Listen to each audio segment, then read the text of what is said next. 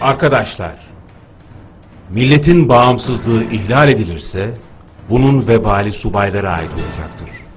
Subaylar, izah ettiğim yüce, mukaddes ve bütün açılardan üzerlerine düşen vazife itibariyle, bütün mevcudiyetleriyle ve bütün dikkat ve ferasetleriyle giriştiğimiz bağımsızlık mücadelesinde birinci derecede faal ve fedakar olmak mecburiyetindedirler. Şahsi ve hususi hayatları itibariyle de subaylar, fedakarlar sınıflarının en önünde bulunmak mecburiyetindedirler. Çünkü düşmanlarımız herkesten evvel onları öldürürler. Onları aşağılar ve hor görürler.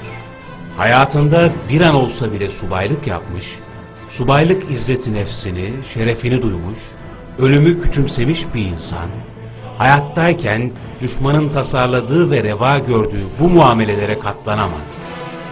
Onun yaşamak için bir çaresi vardır. Şerefini korumak. Halbuki düşmanlarımızın da kastettiği o şerefi ayaklar altına almaktır.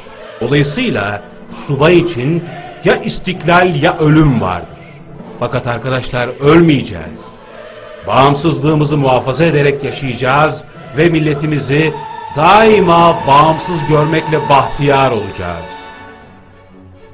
Mustafa Kemal Paşa Afyonkarahisar Kolordu Dairesi'nde subaylara hitaben yaptığı konuşma. 31 Temmuz 1920